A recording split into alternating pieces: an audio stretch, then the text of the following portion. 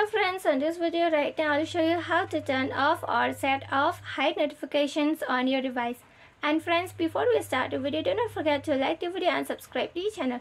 What you have to do is just move on setting, okay?